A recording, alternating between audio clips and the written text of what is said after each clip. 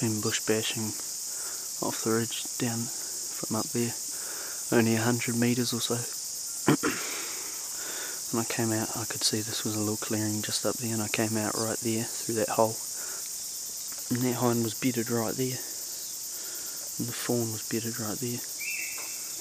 Would have been like 10 metres from it and just sat there looking at me.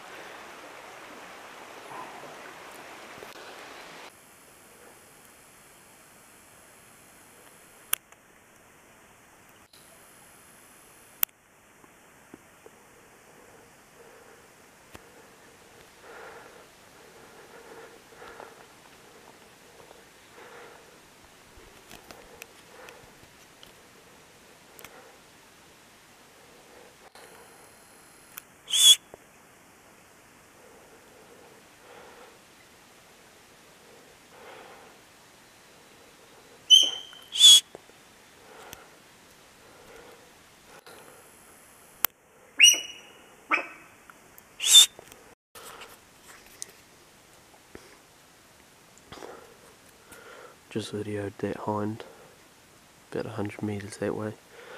I've kept sidling along and I just spooked another one. Just there, saw it run through that gap up there. But they're in the tight stuff. Big stag scrape from the raw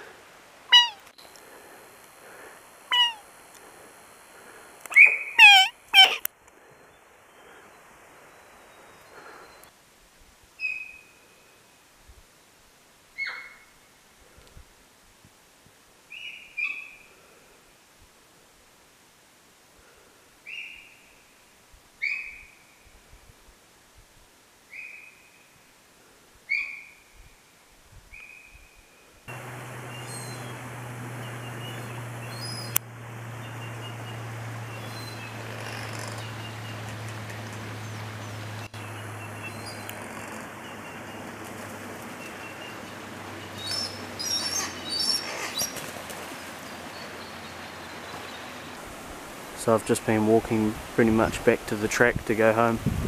It's windy as I've only spooked one deer all day. And I just got up to right here and looked through this gap. And there was an eight pointer straight through that gap. And I thought he was just standing there. So I mewed a couple times and shot at him. And I saw him run off. He looked almost like he stumbled the first couple steps but I don't think he has so I've waited a little while and then come over to him. You can hear it's windy as been windy all day so this fella mustn't have heard me but I've pretty much been crashing the last 20 minutes just to get back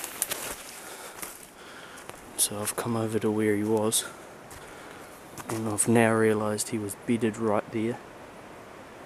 And I've made a cock up. The bullet has gone in there. And there it is there so he was bedded right there. Hasn't even made it to him. So I'll go and have a look but I'm 90 99% sure that it hasn't even well I know it hasn't got to him it's come in here. And I just dug it out from right there. Ah.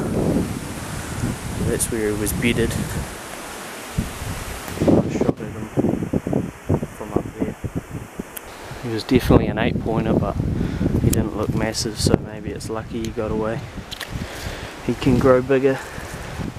He would have been bedded right here and the bullets landed there I didn't even know he was lying down, I thought he was standing.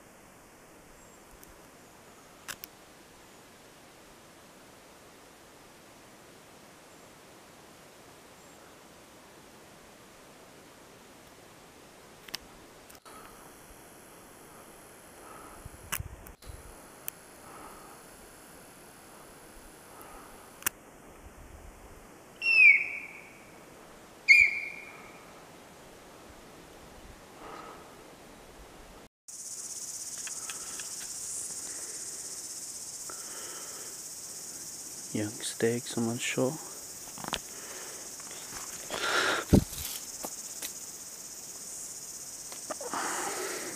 Little fool.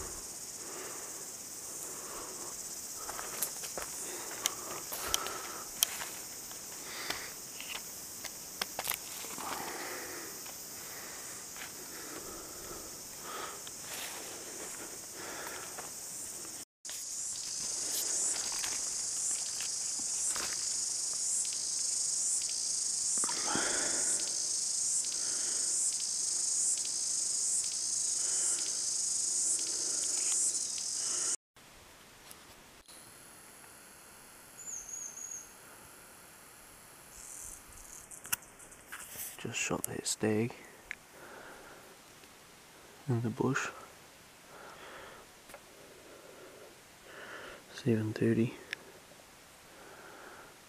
I've been sneaking up through this crap but it's actually quite wet underfoot and it's been quite quiet sneaking up and I got to here and I started hearing noises out there but I wasn't sure it was deer and then I heard some noise that was definitely deer and I could see them way up. Way up there. And the first one I saw I think was a hind. A hind or a knobby spiker. And then the next one I saw was a spiker with about 30 centimeters of uh, velvet.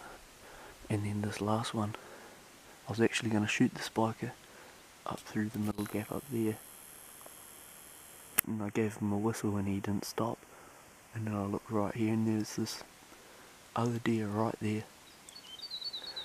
And so after a minute or two they kept walking. And all three of them the what I think was the hind and the spiker came here and they were coming real close. I could have shot them but I knew that this one had a bit more velvet and he looked like a shitter. The one side I saw was it almost looked like he just had brow and a beam. So yeah, I was holding out for him. The other two, I was hoping they wouldn't come too close and get onto me, but this one, I saw him through that gap right there. And then he slowly come here, just as he'd popped down, he was feeding, and then he turned and started heading downhill, and I put him, shot him straight through the shoulder blades. From right there. I'd say it'd be 15 metres. Go have a look.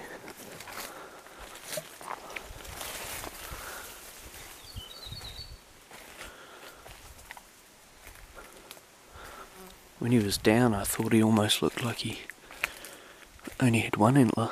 Maybe I shot it off. I didn't even try and chase those other ones. Probably could have chased after them had a shot because they would have been waiting for their mate.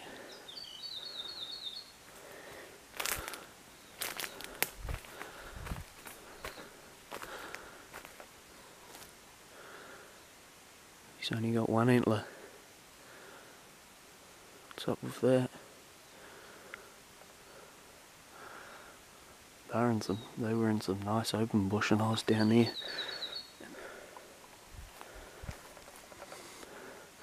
He was standing there when I shot him and he dropped dropped on the spot and then the two of them were up here and they just leaked it out there. If I was chasing them I probably could have got a shot I reckon.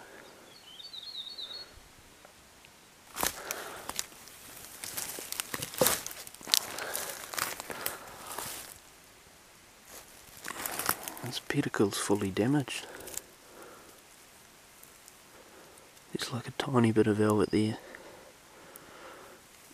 But it's like it's fully snapped off.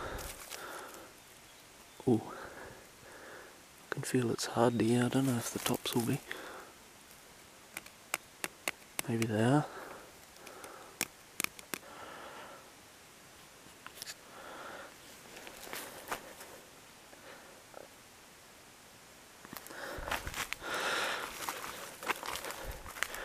It's pretty decent brow. Much else is decent. I guess he had all, all the velvet that was in that antler to grow out into this antler, so he's not a great trophy. I just hope he's old.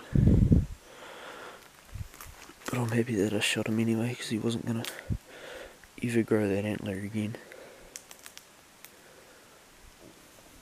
And I shot him in the bush.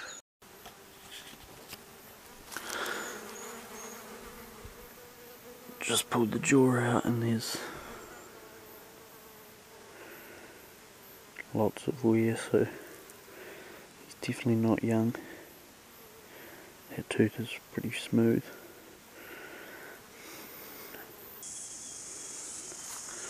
Back at camp with the me and head